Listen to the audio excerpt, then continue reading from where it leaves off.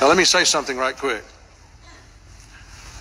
I think back on the African, African American people in America.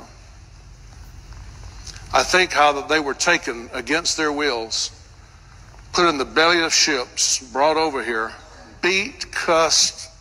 Many of them died in the guts of those ships, thrown overboard. They were pulled from families over there. You ain't never heard a gut wrenching song. Do You hear a black person sing one of those old black Negro spirituals. Nobody knows. I can't sing it like that, see, because I hadn't experienced what they be. When you've experienced hell, it comes out of the voice. I said, when you experience hell, it comes out of the voice. If you're one of those people that you got problem with black people or whatever, you better shut your mouth because they're God's people. You better hear what I'm saying to you. You better shut your, you better shut your white mouth.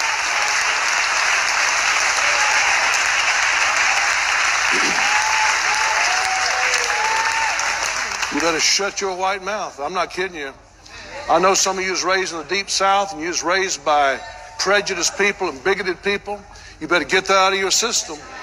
You better get it out of your system. It'll cause you to suffer right along with those masters. It'll cause you to suffer right along with them.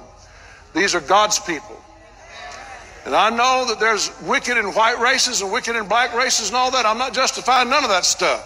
I'm just saying God knows what happened to the black race. He knows how they wound up over here. And God is going to re- reimburse the black people for all their trouble and all their labor. You watch what I tell you. Watch what I tell you.